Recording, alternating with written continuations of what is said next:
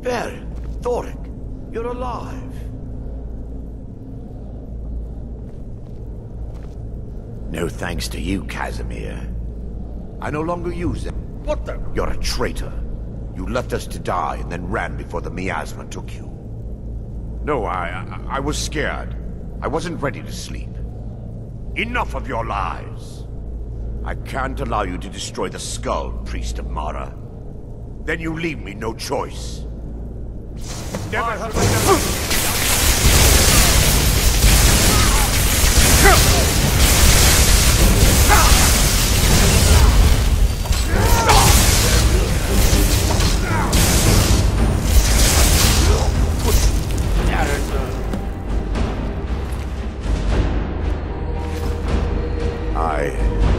knew Veren and Thorek. They were my friends.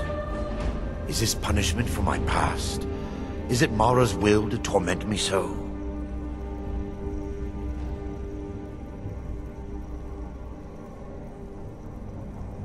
Yes, you're right. It's time. If you'll stand back, I'll perform the ritual granted to me by Lady Mara. First, an incantation to remove the barrier.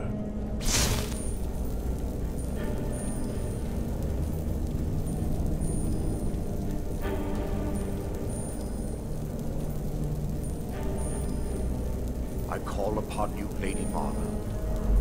The skull hungers. It yearns for memories and leaves nightmares in its wake. Grant me the power to break through this barrier and to send the skull to the depths of oblivion. He's deceiving you.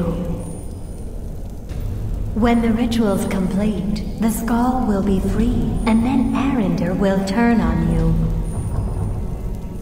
Quickly, kill him now. Kill him and claim the skull for your own. Vaermina commands you.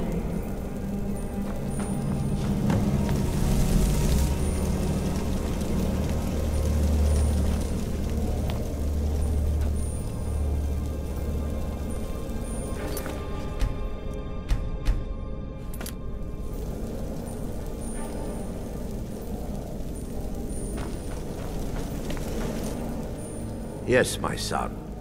What is it I can help with? Come. We must get to the skull and destroy it.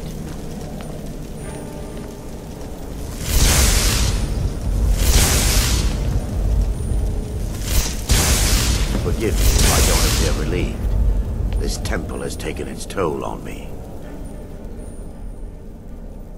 In time, I'd constructed a... My intention was...